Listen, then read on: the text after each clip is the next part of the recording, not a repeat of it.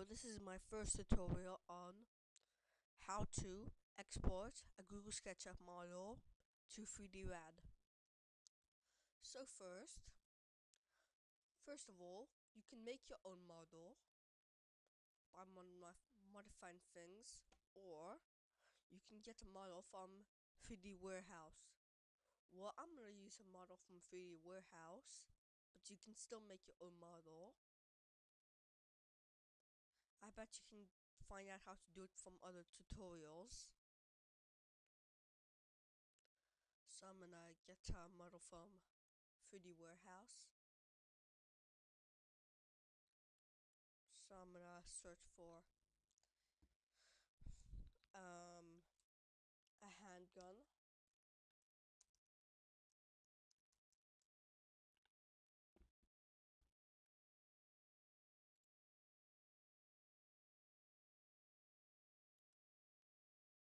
This one. I'm gonna download it.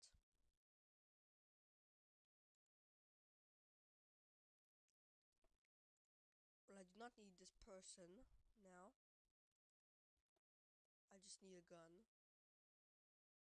Just check if there are any remaining bits. And I can move it.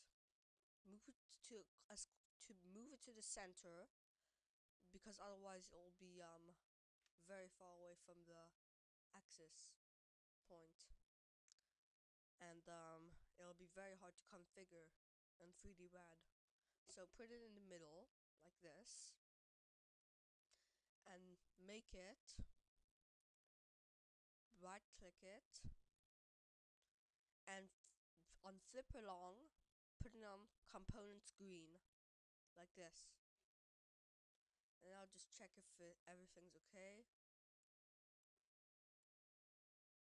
Yeah, everything should be okay. So now I'm gonna export the model. So then you go to plugins. Well, you're gonna have to get a plugin. The link is in the description, as well as the SketchUp link.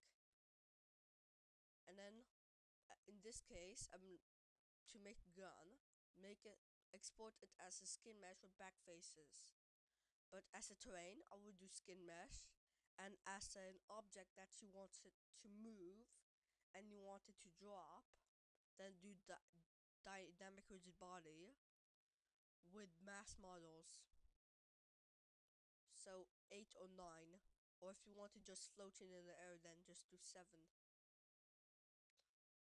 And um, if you wanted to, you, it to a rigid body to float, without moving at all, then do 5.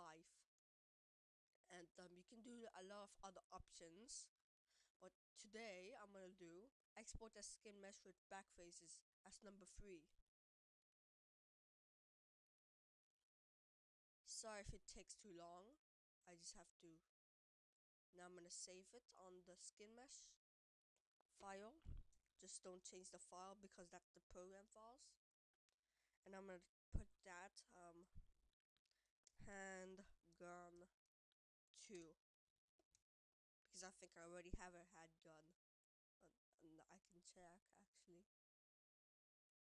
Oh I I have just a gun. Not handgun. So I'm gonna save it as handgun. Yeah okay it's there. Some objects do take time. And now